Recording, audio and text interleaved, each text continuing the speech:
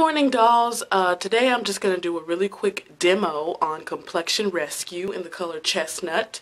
Uh, this did launch, uh, I believe, in January, a few weeks ago. And I just have it right here. It looks like this. And the unique thing about Complexion Rescue is that it is a gel consistency. So it's not really a, uh, like a very thin liquid, but at the same time, it's not so oily that it's not blendable. Um, what I like about this is that it's a lot of things in one. It's a foundation, a BB cream, a moisturizer, a hydrator, and it can even be used as a CC cream or a primer. So, I'm going to just do a quick demo. Like I said before, I do have the color chestnut. And this is the, what is this? The smoothing face brush the brush that is recommended with this, but you can use any type of brush, it works. Um, so I'm just going to put a little on the tip. Okay.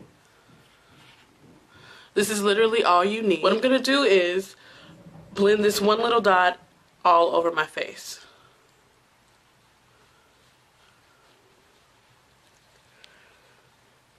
This is just a really quick and easy solution to having a foundation.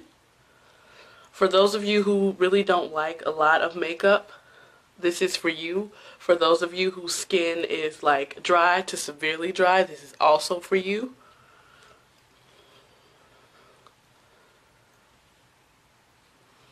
And it's just a really quick and easy solution. It evens out the skin tone, it hydrates, it gives you a nice dewy finish. Now, Notice I said dewy and hydrating. I have combination skin, which means that I am oily, but in some areas I am dry.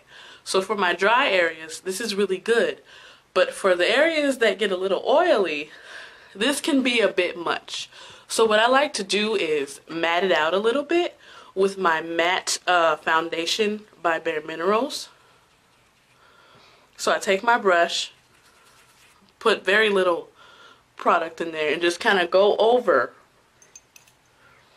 that complexion rescue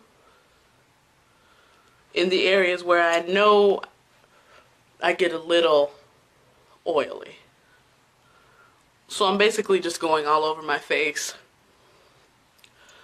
just to kind of calm down that dewiness, but I'm still keeping that hydration. So what I also like to do is add a slight highlight uh, uh, against my cheekbone just to give me a nice subtle glow.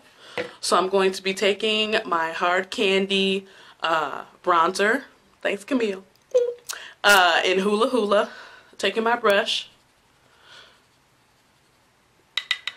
and dusting that over my cheekbone. Now, a lot of people like to wear Complexion Rescue by itself, and that's totally fine. But for somebody who does want that extra bronzy glow or that extra sparkle, like me, this is just something that I do a little extra because I know my skin. So I'm doing my much. best to take some of that dewiness down. Okay? And that is how I wear Complexion Rescue. Again, my color is in chestnut. Um, this product is very hydrating, very healthy for your skin, very light. Um, you will see a difference in your skin after about a week. It is actually 215% hydrating, which means it's going to give your face beauty and love while you're wearing it. And it's not going to take away after you take it off. Um, so I really definitely suggest that you go out and try this product. I'm not sure if my color chestnut is still sold out, but there's no harm in checking. And that's it.